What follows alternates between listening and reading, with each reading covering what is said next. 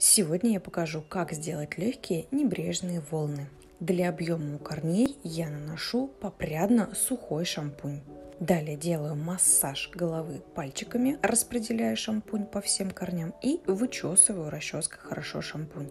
Делаю нужный мне пробор и беру плойку самого маленького диаметра.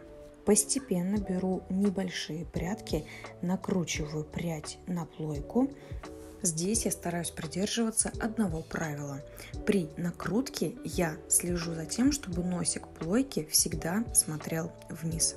Тогда локоны получаются одинаковыми и прическа смотрится более красиво. Также я стараюсь чередовать накрутку то от лица, то к лицу.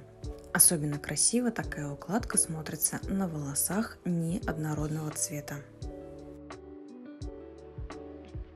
После накрутки жду некоторое время для того, чтобы пряди полностью остыли. И теперь руками дополнительно прочесываю прядки как бы от корней к кончикам. Фиксирую укладку лаком для волос и в общем-то прическа готова. Получаются легкие воздушные пляжные локоны. 7 минут и укладка готова.